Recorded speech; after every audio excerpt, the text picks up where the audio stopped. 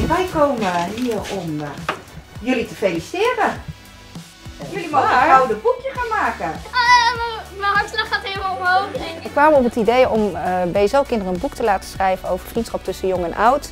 Uh, ten eerste natuurlijk omdat lezen vinden we heel erg belangrijk. Uh, maar ten tweede wilden we ook graag op deze manier proberen een soort bewustwording te creëren dat het best wel een groot probleem is dat uh, ouderen eenzaam zijn. Dus die ladder, ze zien allemaal pompoenen.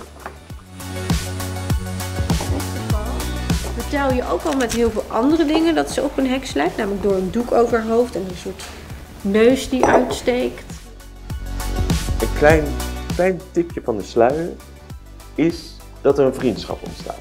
Tussen wie, weet ik niet. Maar het thema is wel jong en oud. Dus het zou kunnen dat die... Ik zou het gewoon kopen.